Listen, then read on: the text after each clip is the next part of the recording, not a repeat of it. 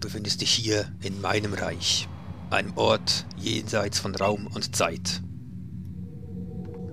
Ich heiße dich willkommen. Genauso wie ich euch willkommen heiße. Leute, willkommen zu meinem neuesten Projekt. Pokémon Legenden Arceus. Für mich pünktlich zum Release, für euch ein bisschen später aufgrund meiner Uploadpläne und so weiter, ne? aber das soll niemanden kümmern. Es geht los.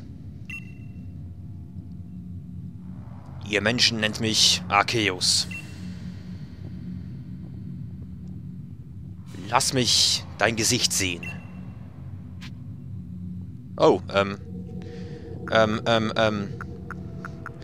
Ja gut, ich würde eigentlich gerne mal Mädchen spielen, aber nee. Ähm.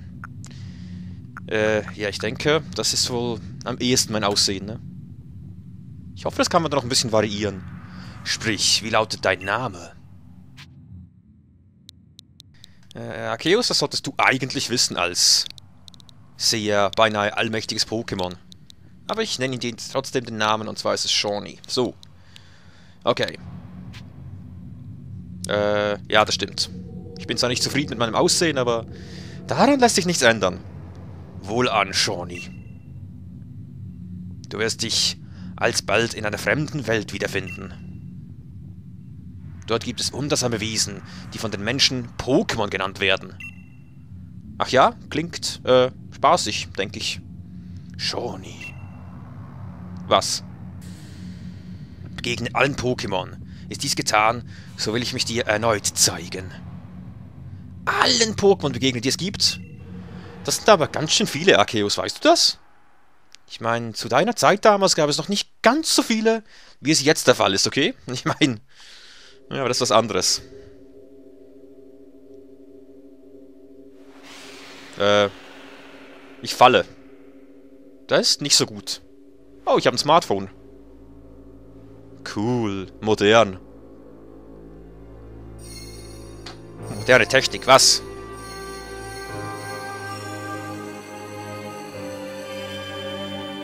Äh, eine ominöse Gestalt. Wer das wohl sein mag. Was machst du mit meinem Smartphone? Das hat viel Geld gekostet, mein Freund. Mach's nicht kaputt.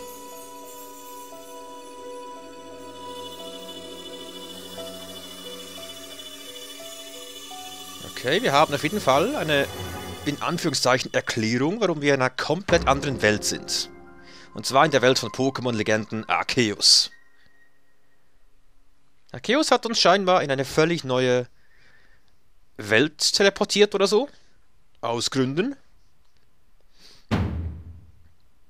Hallo! Wach auf!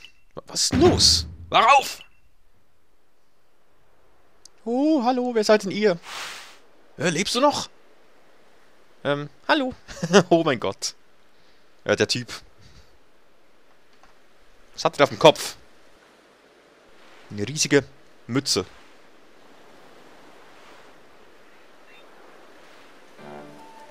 Bin ich erschrocken, dass du plötzlich vom Himmel gefallen bist. Ein Glück, dass du noch lebst. Äh, was ist das da hinten links über dem Berg? Können wir mal darüber reden? Das macht mir ein bisschen Sorgen, ehrlich gesagt. Naja, scheinbar nicht wichtig. Ähm, wo bin ich hier? Das hier ist der Strand des Aufbruchs. Oh, wie passend. Hat der Schock durch den Fall etwa dein Erinnerungsvermögen beeinträchtigt? Willst du damit sagen, dass ich dumm bin? Aber davon mal abgesehen, deine Kleidung ist wirklich seltsam. Kennst du jemanden hier in der Gegend? Äh, eher nicht, würde ich sagen. Verstehe, du siehst ziemlich verloren aus. Weißt du wenigstens, wo du hin willst? Äh, ich muss scheinbar alle Pokémon sehen. Kann ich dir vielleicht äh, den Weg zeigen? Äh, ich äh, weiß es nicht. ich weiß nicht sonderlich viel. Oh dear, du kennst ja also niemanden und weißt nicht einmal, wo du die Nacht verbringen sollst, hä? Du scheinst in ganz schönen Schwierigkeiten zu stecken. Kannst du so überhaupt überleben? Irgendwie wird schon gehen, klar. Oder wie siehst du das, mein Freund? Also schön. Ich kann jemanden in Not nicht einfach im Stich lassen. Bounce. Feueri. Otata. Oh mein Gott, die drei. oh mein Gott, die drei. Oh, das hatte ich ja fast vergessen. Ich jagte gerade meinen entlaufenen Pokémon hinterher, als du plötzlich vom Himmel gefallen bist. Kurios, als hätten sie es geahnt. Sehr kurios. Ach ja, weißt du überhaupt, was Pokémon sind? Ähm... Bitte, ja. Natürlich. Bin doch kein Idiot. Ein Glück, du bist zwar vom Himmel gefallen, aber zumindest scheinen wir vom selben Planeten zu stammen. Haha. äh, witzig, ne? Du weißt also, dass diese wundersamen Lebewesen hier Pokémon genannt werden. Und ähm, wie lautet dein Name? Ja, mit einem Nicken kann ich meinen Namen darstellen, ne? Na, du heißt also Shawnee. So einen Namen habe ich noch nie gehört, aber er hat sicher eine tolle Bedeutung. Äh, ja, dessen bin ich mir auch sicher, ja. Oh, Entschuldigung, wie unhöflich von mir. Mein Name ist Laven. Soll das vom Lavendelbaum kommen oder wie? Keine Ahnung. Ich bin Pokémon-Professor. Das heißt, ich bin ein Forscher, der mehr über Pokémon herausfinden möchte. Momentan versuche ich zum Beispiel mit den dreien hier... Und weg sind sie. Oh no! Warum, warum, warum oh no? Naja. Meine lieben Pokémon, warum lauft ihr ständig davon? Bitte hilf mir, die drei einzufangen, okay? Warte auf mich! Okay, ich kann... Oh, ich kann mich bewegen. Ich kann... Äh, rennen kann ich, wenn ich gedrückt lasse. Kann ich aufs Boot? Nein. Und wie kann ich? Moment. Äh, ja, ne? Ja, ein Tag nach äh, Release, ich weiß. Ich möchte niemanden belügen, aber, ne? Bewegung, Forschungsbibel, bla, bla. Ich habe noch nicht viel. Äh. Es wird schon so alles passen, nehme ich an. Oh, und so kann ich mich ducken. Hier passiert nichts, hier auch nicht, hier auch nicht. Gott, da vorne ist ein Tor, seht ihr das? Kann ich hier überhaupt schon irgendwas finden? Ich meine, die Grafik ist... Ja, ne? Okay, gut, der Baum ist ein bisschen... Das ist eigentlich völlig okay. Da ist eine Tür, die geht nicht auf. Die hat nicht mal einen Griff oder irgendwie sonst was. Was ist das denn? Wasser? Nur ein Stein vermutlich. Ich kann hier vermutlich noch nicht allzu viel finden. Ja, Grafik, völlig okay. Völlig okay, muss ich sagen. Gefällt mir. Aber der Berg da hinten, da ist irgendwas nicht in Ordnung, glaube ich. So, wie gesagt, was ist das da? Oh, ist das mein Smartphone? Etwas leuchtet und gibt Töne von sich. Muss ich das nehmen? Vermutlich. Mein Arceus-Phone ist es jetzt. Du hebst etwas auf, was einem Smartphone ähnelt. Es könnte dein Smartphone sein, aber es sieht anders aus. Du spürst eine seltsame Kraft, die von ihm ausgeht. Auf dem Bildschirm ist eine Nachricht erschienen. Ich vertraue dir dieses Arceus-Phone und folgende Aufgabe an. Begegne allen Pokémon. Äh, ich hinterfrag's jetzt mal nicht, aber okay, machen wir. Wir sind schon drei Pokémon begegnet. Nein, wir sind auf besten Weg dazu, allen zu begegnen, würde ich sagen. Da vorne ist der Professor. Ich kann irgendwie nichts untersuchen. Das sah komisch aus. Ähm. Oh, ich... Hm, natürlich kann ich nicht einen anderen Weg einschlagen. Ja, schon wieder daneben. Oh. Was denn? Ah, mein Freund aus dem Himmel, du hilfst mir doch, oder? Ich habe bereits unzählige Pokebälle geworfen, um die Pokémon zu fangen, doch ohne Erfolg. Ich sollte dir wohl erstmal etwas über die drei Ausreißer erzählen. Ja, mach mal. Das ist Bautz. Oh, seht's euch an. Fantastisch. Bautz kann die Pflanzen Photosynthese betreiben und kämpft mit Hilfe seiner scharfen Federn. Hallo, kleines Bautz. Hallo. Oh, Feurigel ist auch toll. Das da drüben ist Feurigel. Die Flammen auf, auf äh, Feurigels Rücken lodern kräftiger, wenn es wütend ist oder erschrickt. Das ist auch total süß. Das Pokémon beim Teich ist Otaru. Otaru treibt gern schlafend auf dem Wasser und kämpft mit Hilfe des muschelähnlichen Objekts an seinem Bauch. Ach, na sowas. Ich habe ganz vergessen, dir das Wichtigste zu erklären. Und zwar, wie man Pokémon fängt. Ich weiß, was po Pokémon sind, deswegen weiß ich auch, wie man sie fängt, aber das ist ein seltsamer Ball, muss ich zugeben. Hier hast du ein paar Pokebälle. Die musst du werfen, um Pokémon zu fangen. Ja, ach was. 50 Pokebälle. Ein rätselhafter Ball, den man auf wilde Pokémon wirft, um sie zu fangen. Wenn man die nötigen Materialien sammelt, kann man ihn selbst herstellen. Oh, das ist gut. Oh, sorry, das genügt wohl nicht als Erklärung. Dann hör gut her. Ich sagte bereits, dass Pokémon wundersame Lebewesen sind. Du fragst dich sicherlich, was an ihnen so wundersam ist. Naja, so einiges würde ich sagen. Nun, jedes Pokémon kann auf winzige Maße zusammenschrumpfen. Ach so, ja. Und da kommen die Pokebälle ins Spiel. Sie wurden erst vor kurzem erfunden. Aha. Wir sind also in der Vergangenheit. Wenn man einen Pokéball auf ein Pokémon wirft, wird es ganz klein und passt dort hinein. Ja, oder aber es wird zu Licht. Und deswegen wird es auch durch Licht in den Ball gesogen quasi, ne? Aber das ist eine andere Theorie. Und damit hat man auch schon ein Pokémon gefangen. Spaßig. Es gibt sonst niemanden, den ich darum bitten könnte. Bitte hilf mir, meine drei Ausreißer wieder einzufangen. Um Pokémon zu fangen, musst du sie anvisieren und dann einen Ball auf sie werfen. Ganz einfach. Naja, ich selbst treffe dabei leider nur selten ins Schwarze. Ja, du kannst Pokémon fangen. Halte ZR gedrückt. Um einen Wurf vorzubereiten und zu zielen. Du kannst dich dabei bewegen und mit dem rechten Stick die Wurfrichtung anpassen, um das Ziel zu ähm, erfassen. Wenn du ZR loslässt, wirfst du den Ball. Trifft er das Pokémon, besteht die Möglichkeit, dass es gefangen wird. Solltest du dich umentscheiden und doch keinen Ball werfen, kannst du den Vorgang mit B abbrechen. Uh, kompliziert, okay. Verstanden. Äh, okay. Da vorne ist Feudigel. Da vorne ist, äh, äh Otto gewesen. Da oben ist Bautz, okay, ähm... Muss ich direkt entscheiden, welches Pokémon ich haben möchte. Denn, ich meine, ich kann einem Bautz nicht Nein sagen, aber... Die Entwicklung Silvaro, ja, ich weiß nicht so recht. Honopter wäre halt wirklich ziemlich cool.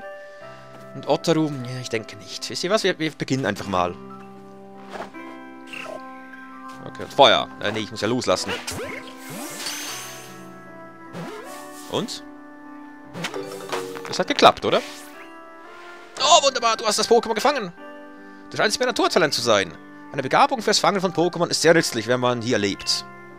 Es sind noch zwei weitere Pokémon entlaufen. Ja, ja, ja. Ich muss sagen, ich finde es sehr ungewöhnlich, dass du überhaupt keine Angst vor Pokémon hast. Tja, ne? Ich muss, muss ich jetzt das ein bisschen lernen, indem ich alle drei fange und dann kann ich dann entscheiden, welches Pokémon ich haben möchte.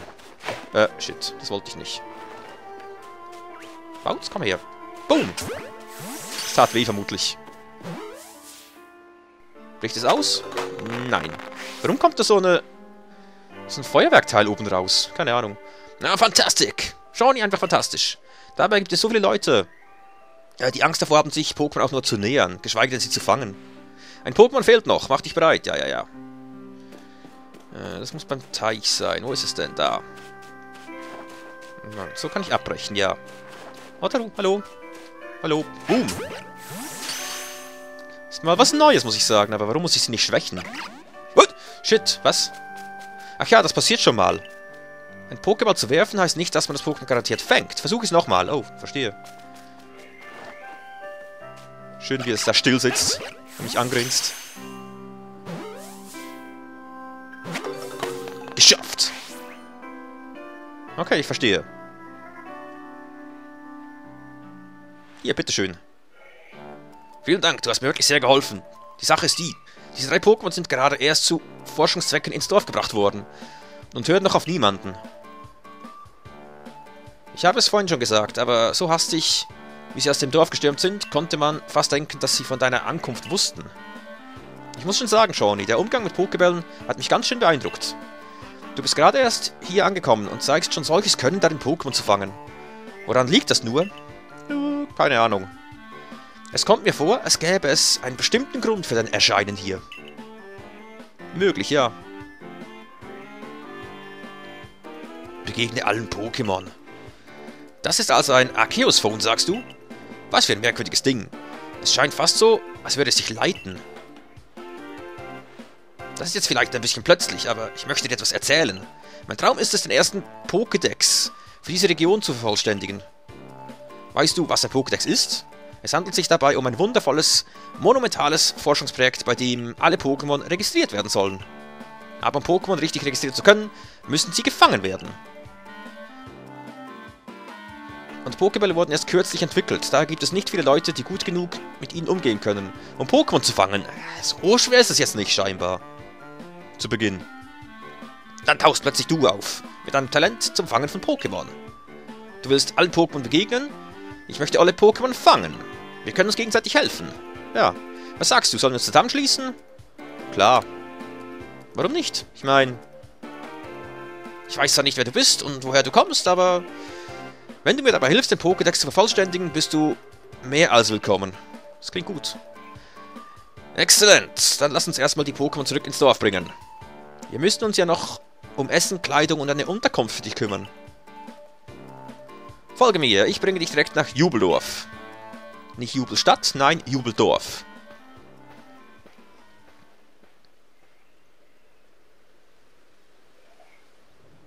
Ja, das fällt meinem Charakter erst jetzt auf, dass da oben irgendwas ungut zu sein scheint.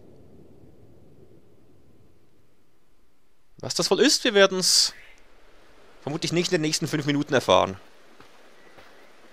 Oh, ein Dorf. Seid gegrüßt und immer vielen Dank für eure wachsamen Augen. Dieser junge Mann hat mir und meinen Pokémon einen großen Dienst erwiesen, deswegen möchte ich ihn ins Dorf einladen. Das geht scheinbar in Ordnung, das ist gut.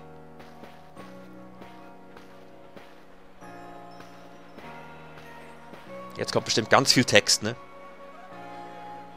Diese Häuser haben bestimmt alle denselben Architekten, kann das sein? Gleichen wie ein Ei dem anderen.